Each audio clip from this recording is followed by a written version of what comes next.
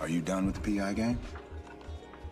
Actually, no, I am not done with the PI game. I am ready to take on the work, unlike you. I miss it a lot.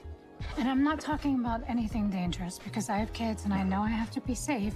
I'm just like, I just really miss the act of investigating. I miss it. I miss it so much. And I, I want to help people know the truth, even if the truth hurts them.